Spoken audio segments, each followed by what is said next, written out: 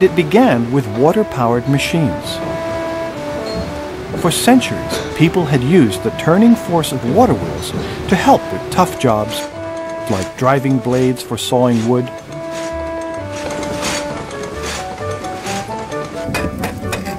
and rotating coarse stones for grinding grain into flour.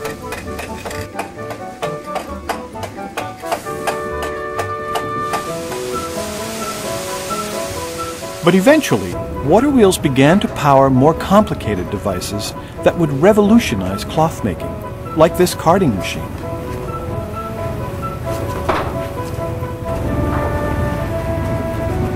What an improvement over the pet brushes.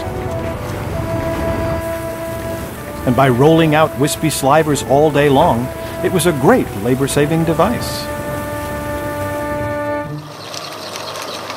But this was even better. I'm standing next to a machine called a water frame. It was created by the famous English inventor Richard Arkwright, this model's from the 1780s, to spin cotton into yarn. Though it looks fairly complex, it really isn't.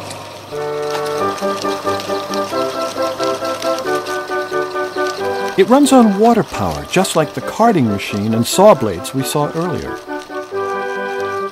The cotton in the top spools is drawn out by the action of the machine, which twists it nice and tight, and then gathers the yarn onto these bottom spools.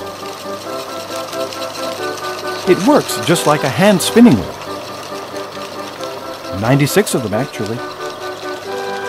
So it's little wonder that spinning by machine would eventually make spinning by hand obsolete.